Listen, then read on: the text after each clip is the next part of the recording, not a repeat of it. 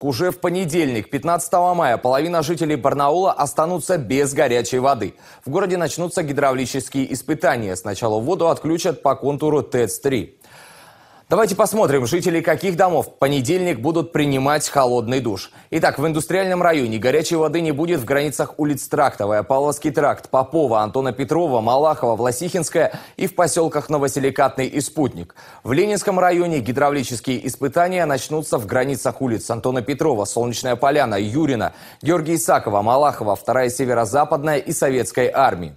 В железнодорожном районе это улицы Георгия Исакова, в границах Вторая Северо-Западная, Антона Петрова до улицы Северо-Западная. В центральном районе работы начнутся на улице Папанинцев, Челюскинцев, Молодежная, Ядринцева, проспектах Строителей и Социалистическом, а также в периметре улиц Папанинцев, Ядринцева, Партизанская, Красноармейский, Гоголя, Комсомольский, Ленина и Димитрова. На перечисленных улицах горячей воды не будет до 7 июня, а с 19 июня по 12 июля такие же работы пройдут по контуру ТЭЦ-2. Добавлю, отключение горячей воды необходимо, чтобы проверить оборудование и трубопроводы. В дальнейшем это поможет избежать аварий и перебоев в теплоснабжении в зимний период.